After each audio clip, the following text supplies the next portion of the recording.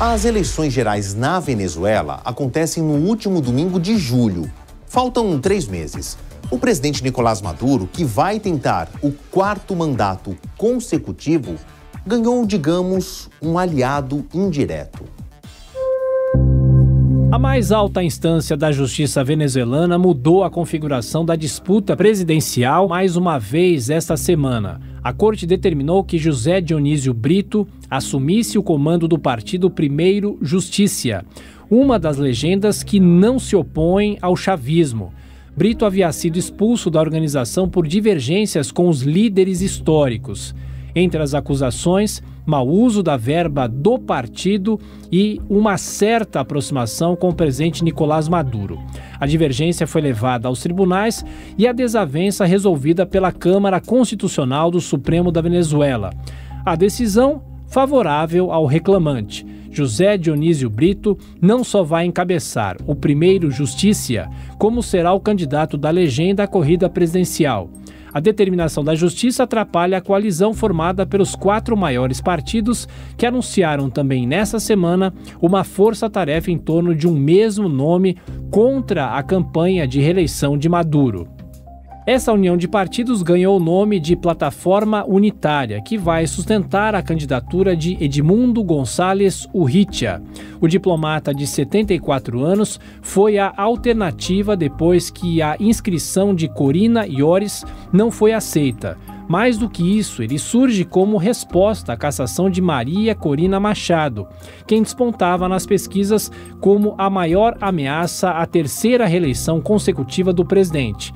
Outro que também ficou pelo meio do caminho foi Manuel Rosales. Antigo rival político do falecido Hugo Chaves, o empresário desistiu da candidatura para não ofuscar o escolhido da coalizão. Maria Corina Machado vai estar fora das disputas eleitorais por 15 anos. Quem determinou o afastamento foi a Justiça, que a condenou por corrupção e improbidade. Ela contesta o veredito e fala em perseguição política afastada das urnas, mas cada vez mais perto do público. Em uma entrevista exclusiva, Corina Machado critica o governo por não respeitar o Acordo de Barbados, tratado assinado pelo presidente Nicolás Maduro em outubro de 2023. O documento prevê a realização de eleições justas na Venezuela e garantias à oposição. Em entrevista concedida à imprensa estrangeira, Maria Corina Machado comentou como o presidente desrespeita o pacto firmado com os rivais políticos, a começar pelas medidas que caçaram o direito dela de concorrer a qualquer cargo eletivo na Venezuela. Patrick, este é um momento muito complexo. Este é um momento muito complexo em que o regime violou todos os elementos do Acordo de Barbados e onde até desenvolveu uma onda repressiva brutal. Ainda falta algum tempo para que este processo seja canalizado e que o regime compreenda efetivamente que é melhor todas as partes, incluindo o próprio Nicolás Maduro, aceitar os termos do Acordo de Barbados. O que propomos é avançar e manter esta negociação daqui em diante, para que haja uma candidatura que conte com o apoio de todas as forças unitárias. Todas as forças unitárias. O voto não é obrigatório na Venezuela, embora Maduro tenha a vantagem de estar sendo apoiado por outros 12 partidos. O presidente enfrenta uma forte rejeição pública. Parte da população não acredita na lisura do processo eleitoral, ou seja, o risco de abstenção é muito grande. Maria Corina Machado, por sua vez, acredita que a campanha de Maduro torce por poucas pessoas votando no dia da eleição para reforçar o clima de racha político. A abstenção é eles quem querem. A abstenção quer impor o regime com medo, com candidaturas que não são legítimas ou que não tenham o apoio da sociedade venezuelana. São eles que querem provocar a divisão, nós representamos a unidade, a união do país. Na Venezuela, tornamos possível o impossível. E no ano passado, em janeiro, me disseram que era impossível realizar primárias, que era impossível o país se mobilizar, que era impossível incentivarmos um grande movimento social numa Venezuela que parecia apática, triste, desconfiada da política. E veja o que aconteceu e mira lo que ha ocurrido. Os partidos não alinhados com o chavismo ainda acusam o governo de perseguição. Existem atualmente 269 presos políticos na Venezuela, segundo a ONG Foro Penal. Entre eles, sete integrantes da equipe de Maria Corina. Outros seis estão refugiados na embaixada argentina em Caracas para evitar um possível mandado de detenção. Mesmo durante a pressão para calar quem contesta o regime que perdura desde o ano 2000, a candidata caçada promete lutar até o fim.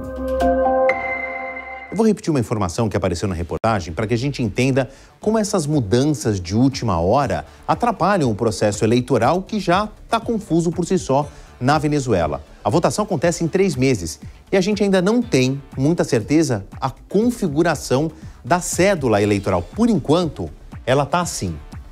Pode parecer brincadeira para os olhos mais atentos, mas isso aqui é verdade. Eu retirei do site do CNE, que é o Conselho Nacional Eleitoral. É mais ou menos como se fosse a Justiça Eleitoral lá na Venezuela. Reparem que o rosto, é, a presença na cédula do presidente Nicolás Maduro, que vai tentar sua quarta reeleição consecutiva, aparece 13 vezes. Nada disso é ilegal. Isso é uma amostra de quanto ele tem apoio de toda uma coalizão de esquerda ou centro-esquerda. É claro que para um país que tem um alto nível de analfabetismo, achar o seu candidato predileto que se multiplica na cédula dá uma certa vantagem. Parece um detalhe pequeno, mas que na hora aqueles muitos indecisos podem pender a uma escolha ótica e, no final, pode fazer uma pequena diferença que possa vir a garantir a vitória de Nicolás Maduro. Agora, essa repetição de rosto na célula não é uma exclusividade do presidente que tenta a sua reeleição. Por enquanto, a gente tinha, então, é, Manuel Rosales, que acabou se retirando. A cédula pronta ainda traz o rosto dele em três legendas diferentes por causa do apoio de duas agremiações, assim como acontece com outros candidatos. Isso que o rosto se multiplica na cédula, de novo, não é ilegal e não é a primeira vez que acontece na Venezuela.